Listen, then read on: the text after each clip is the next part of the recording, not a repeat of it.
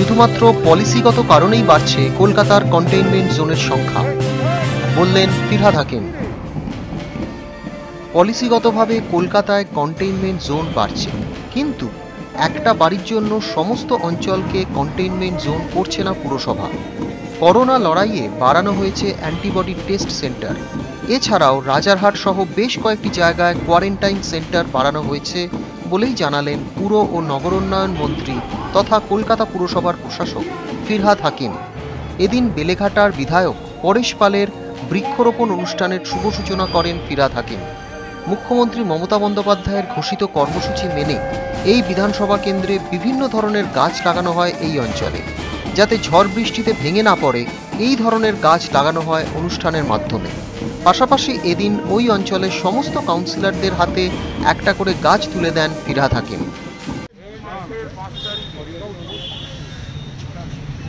বিশ্ব পরিবেশ দিবসে মুখ্যমন্ত্রী নিজে মমতা ব্যানার্জি বৃক্ষরোপণের সূচনা করেছেন।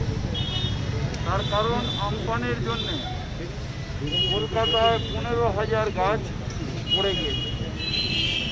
তাই কলকাতার দূষণ এখন বর্ষাকাল, কিন্তু এর পরেই দূষণের লেভেল বাড়বে। সেই জন্য আমাদের এখন পঞ্চাশ হাজার বৃক্ষরোপণ করতে হবে, যে পনেরো হাজার গাছ পড়ে গেছে তার পরিবর্তে। আমি ধন্যবাদ জানাই পরেশ পালকে যে উনি এখানে এই উদ্যোগটা নিয়েছেন, নিজের কনস্টিটুয়েন্সিতে বৃক্ষরোপণ সবসময় করেন। এবার এমন এমন গাছ করছেন যেগুলো ঘরে পড়বে না। অথচ প্রচুর পরিমাণ কার্বন ডাইঅক্সাইড নেবে এবং অক্সিজেন দেবে। আমি আস্তে আস্তে দেখেছিলাম ওনার রোপণ করা হিটিং দেবদারু খুব বড় বড় হয়েছে এবং সুন্দর লাগছে। তারা অনেক কার্বন ডাইঅক্সাইড নেয় এবং অক্সিজেন দেয়। এরপরেও পরস্পরের কন্টিনিউয়াস এক হাজার গাছ আজকে রোপণ করার কথা আছে। তাই ধন্যবাদ জানাই আমি। এক একটা ওয়ার্ডে। আমি ধন্যবাদ জানাই যে এই বৃক্ষরোপণের মধ্যে দিয়ে যদি সবাই আমরা চেতনা চেতনাশীল রোপণ করা না, ছবি তোলা না সেই গাছগুলোকে নিজের সন্তানের মতন যদি আমরা সবাই মিলে বড় করতে পারি। অনেকে আছেন বাড়ির সামনে গাছের অসুবিধা, দোকানের সামনে একটু ফ্যান ঢেলে দিচ্ছে, এটা অন্যায়। কারণ গাছ আমার জীবন বাঁচাবে, আমার পরিবারের জীবন বাঁচাবে, আমার বাচ্চার জীবন বাঁচাবে। তাই এই বৃক্ষরোপণটাকে খুব সিরিয়াসলি নিতে হবে।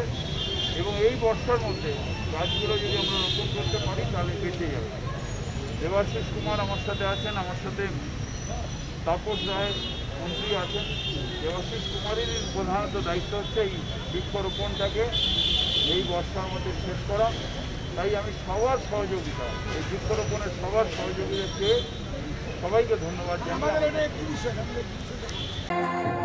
কলকাতা থেকে পিয়ালি ঘোষ, টাইমস বাংলা।